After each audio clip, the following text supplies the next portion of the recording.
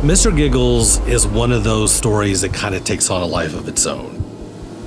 But we're not allowed to talk about him. Rob shies away from Mr. Giggles.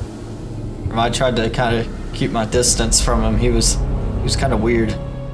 The the incident was unpleasant, and we don't we don't talk about the incident. Certain lines shouldn't be crossed.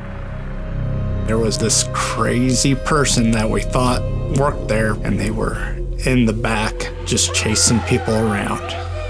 He, he you know he was a method actor, so he was kind of always in character.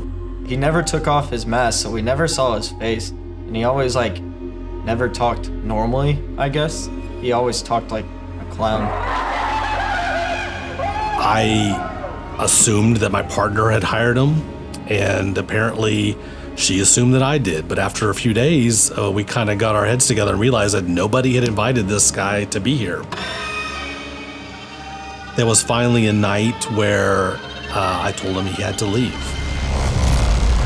I really think he's still in the haunt, and I don't know. I don't know if I can work this season if he's still here.